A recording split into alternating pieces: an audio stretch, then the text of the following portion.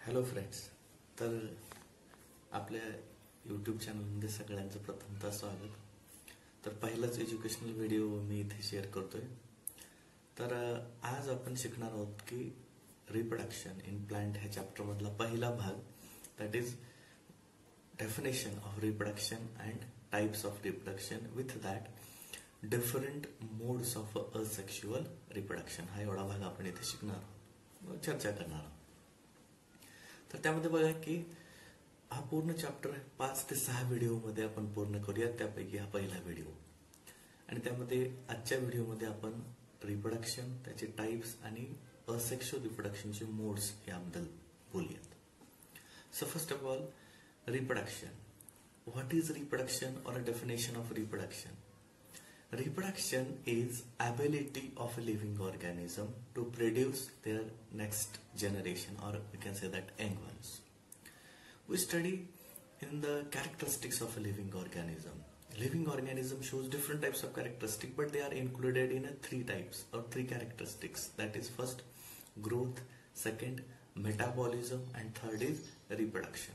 It means uh, reproduction is the ability or one of the important characteristic of living organism in which living organism produces their next generation or their young ones. Like it's like or these other other terms are related to the genetics means a particular kind of uh, individual produces a same kind of individual. It means mango tree, tree produces mango tree. Dog produces dog. That's the like begets like. But that plants or animals or any kind of living organisms they have ability to produce their next generation or their young ones. And that ability is called a reproduction. त्या क्षमतेला आपण काय म्हणतोय reproduction म्हणतोय मराठीमध्ये आपण त्याला प्रजनन म्हणूयात बघा म्हणजे सजीवांची ही एक क्षमता आहे की ज्याद्वारे सजीव आपल्यासारखाच जीव दुसरा तयार करू शकतात त्या आपण काय म्हणतोय रिप्रोडक्शन प्रजनन असं म्हणतो so that's the definition of reproduction I repeat the ability of a living organism to produce their next generation is called reproduction so that's the So now here we study different types of reproduction. Regarding to the types of reproduction, there are two main types of reproduction that is asexual reproduction and sexual reproduction. Asexual reproduction, first mode of reproduction, the reproduction in which there is no formation of gametes and there is no fusion of uh, gametes and that reproduction is a uniparental reproduction means only one parent is involved in the asexual reproduction and that is also called as apomixis apomixis meaning of the word apomixis is the reproduction in which there is a no formation or there is no fusion of a gametes that apomixis or that is asexual reproduction मराठीमध्ये अलैंगिक प्रजनन आपण म्हणतोय बघा second mode of reproduction that is sexual reproduction in which first there is a formation of gametes and then after fusion of a gamete occurs. And that kind of that type of reproduction is called sexual reproduction.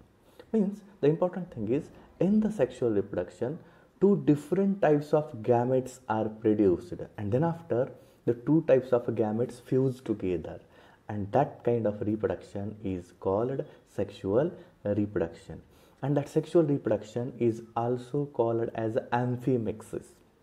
Amphimixis meaning of that word amphimixis is formation and fusion mixing of a gametes or fusion of a gametes that is amphimixis. And that kind of reproduction is sexual reproduction. So these are the two main modes of reproduction which is seen in the plants and animals.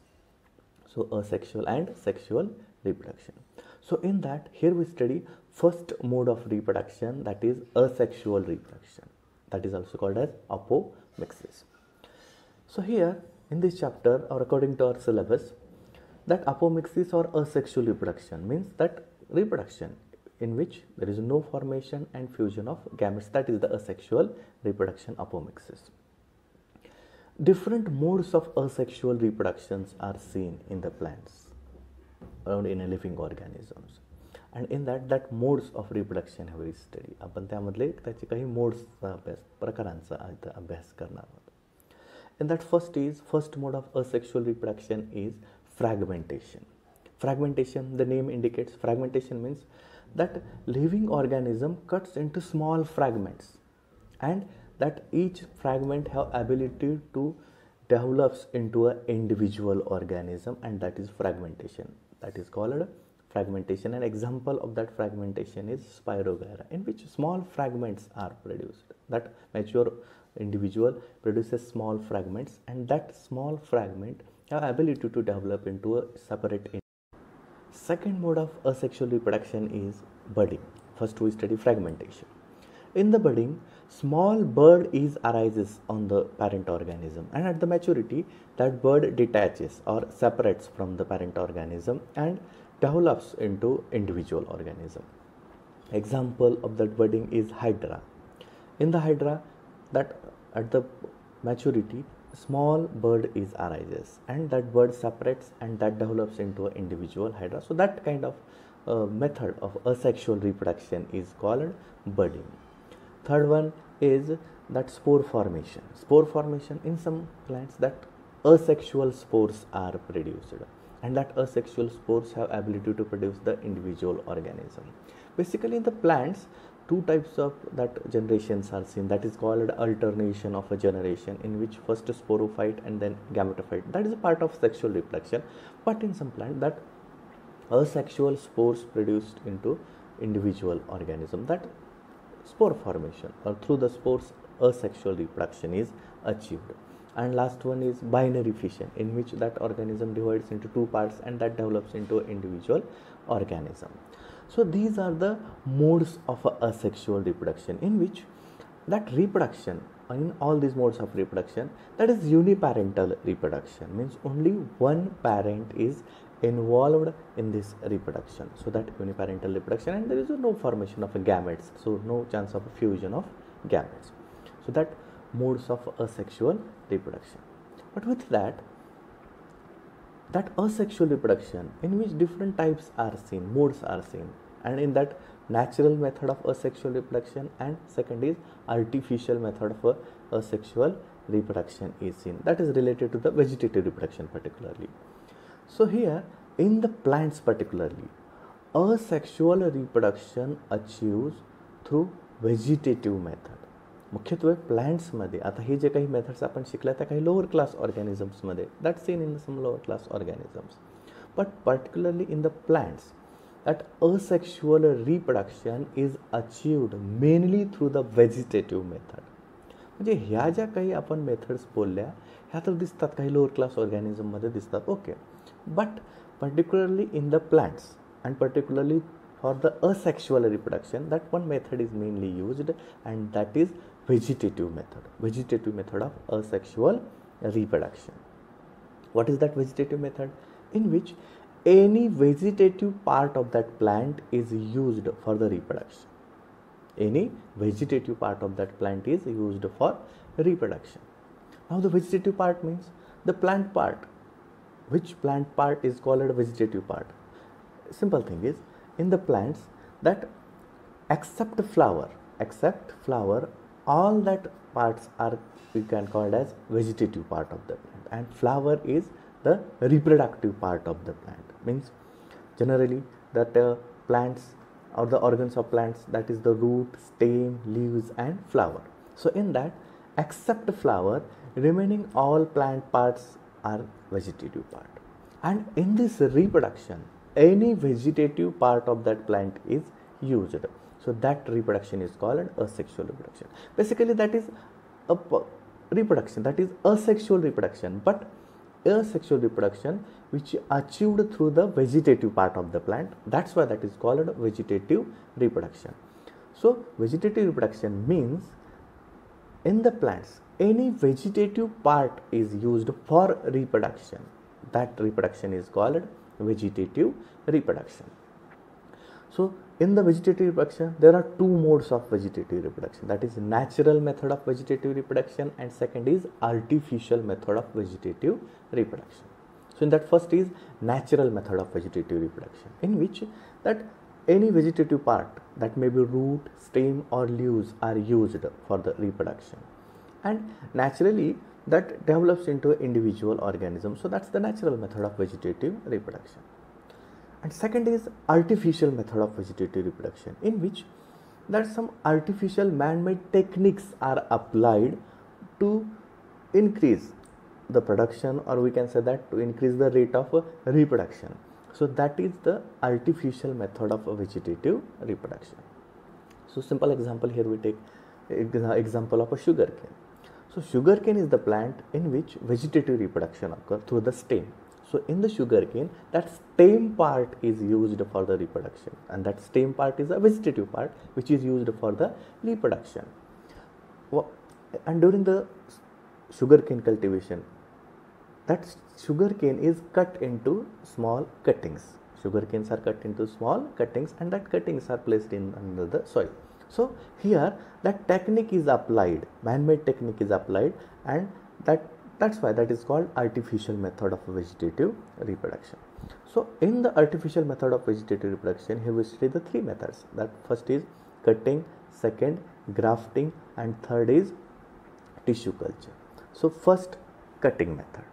Cutting means small piece of the plant is called cutting or simply we can say that small piece of the plant with the bud is called cutting.